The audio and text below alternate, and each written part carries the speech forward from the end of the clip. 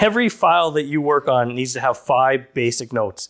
You want to have your overview photos and videos. That's going to be slightly overlapping at eye level. You usually work left to right.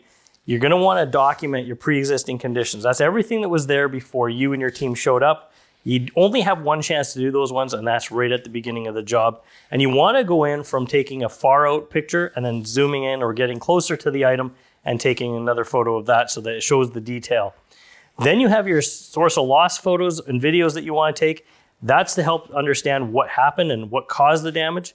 And then we have our resulting damages to the structure. That's going to be the damages from water, fire, or mold. And then you have your resulting damages to the contents.